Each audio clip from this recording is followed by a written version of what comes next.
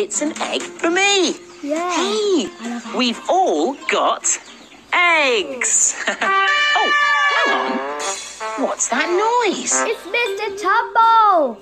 Tumble. That's right, Samantha. It's Mr. Tumble. It's time for Mr. Tumble. Come on, let's all call for him. Ready?